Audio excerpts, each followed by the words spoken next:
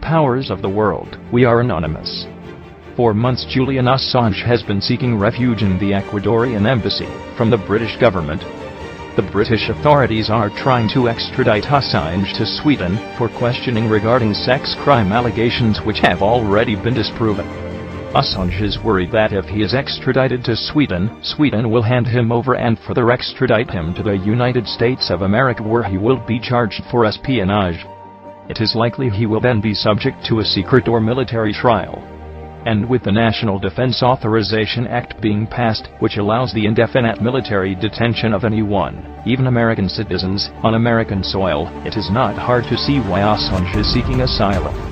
Recently, the Ecuadorian embassy said that it has received threats of armed raids on their embassy by the British government, the British government has also said that they will revoke the embassy's diplomatic immunity, which is a violation of the International Vienna Convention. Since Ecuador has agreed to give Assange political asylum, the United Kingdom has stated that besides invading foreign soil, they will prevent Julian Assange's travel out of the country. Not only is the British government violating international laws and human rights, they are also declaring war on freedom. Could you imagine if this happened in America? A foreign citizen targeted by the government for speaking up and, as a result, said individual taking refuge in a foreign embassy. The American government quickly declares that it will raid the embassy with body armor and assault rifles to get the whistleblower. The governments of the world and the world media would have called it a violation of international law and of human rights. The retaliation against America for such an action would be quick and loud.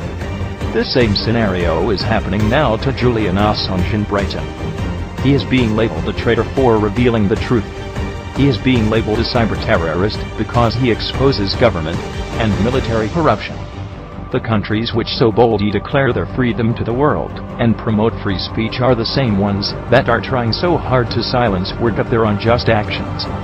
Julian Assange is now in serious danger, and we must stand with him we must now protect and defend Assange in every way we can. By protecting Julian Assange, we are protecting our freedom of speech.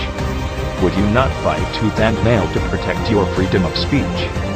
We do not tolerate censorship, injustice, and belligerent law breaking.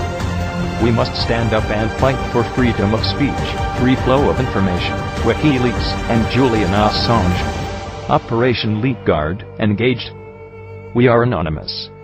We are legion. We do not forgive. We do not forget. Britain, expect us.